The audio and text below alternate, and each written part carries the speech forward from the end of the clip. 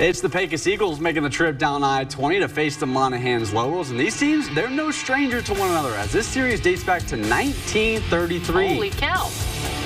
And these two teams going into their 92nd game, Pecos leads 64-24 to 4. Lobos with the ball first after a great kickoff return. Cole plays later. Malachi Barnes rushes in for the nine-yard score.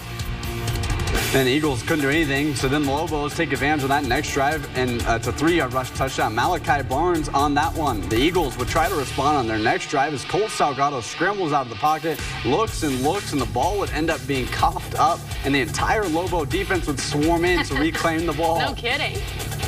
And next, the Lobos would be back on offense, looking to extend their lead, and they would do so with the legs of Majestic Williams, who majestically and methodically took this one 30 yards to the house, and the Lobos would extend their lead 21-0.